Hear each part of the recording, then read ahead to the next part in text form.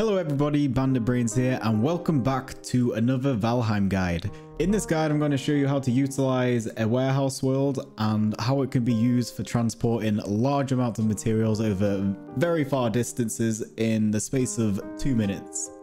Obviously we have portals but you're not allowed to take ore through portals at this current stage of the game.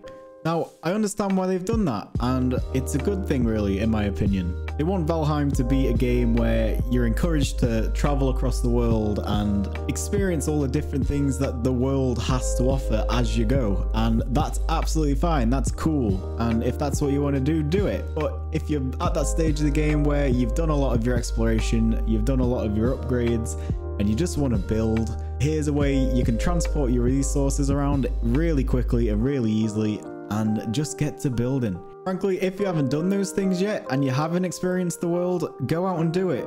I promise you it's going to be some of the most fun you've had in a game in ages and you won't regret it. But for all you other people, let's get into the guide.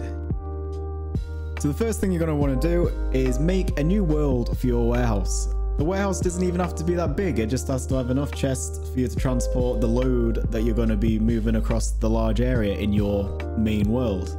So here's my simple little warehouse. It's easy to build, didn't take long, and it's just got a load of chests on the back wall there for me to put my things in when I need to.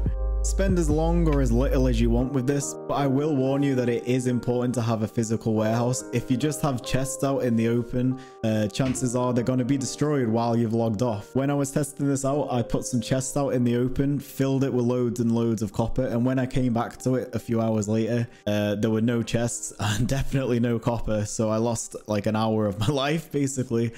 Uh, so it's important that you do protect your chests.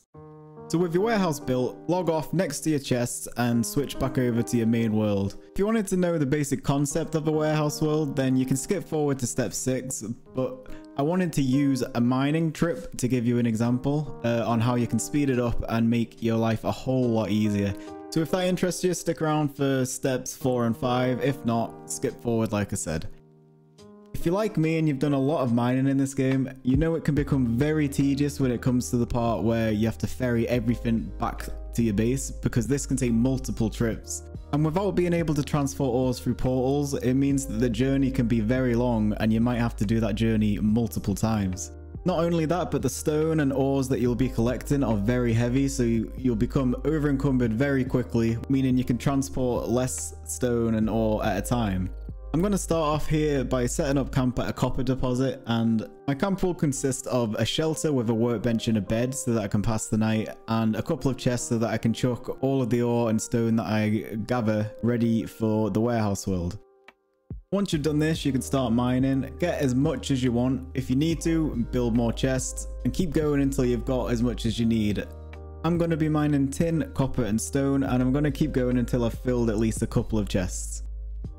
When you feel like you've got enough resources, go back to your chests, empty your inventory of any junk and fill your inventory with all of the resources that you want to transport. If you go over the carrying capacity, don't worry, you can go as far over that as you want. We're not actually going to be moving while we're over encumbered, so this doesn't really matter.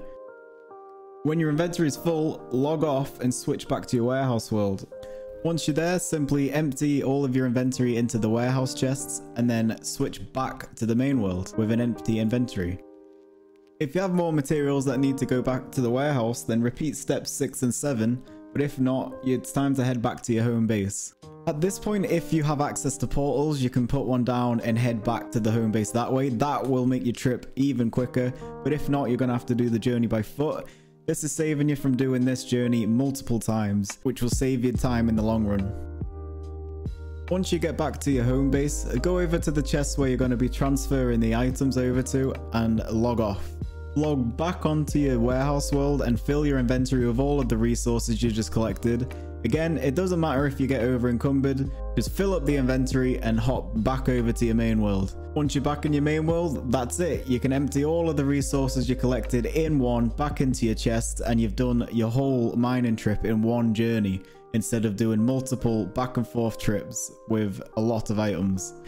And that's pretty much it. I know it's quite a basic guide and a lot of people probably use this method, but it's almost so simple that you might not even think about it. And there might even be some people out there who haven't even considered the fact that you can use the continuous inventory for one character to bring materials in from another world. But nevertheless, I hope you found this helpful. If you did, give it a like. And if you want to see more videos like this, consider subscribing. So thank you very much for watching everyone and I'll see you next time.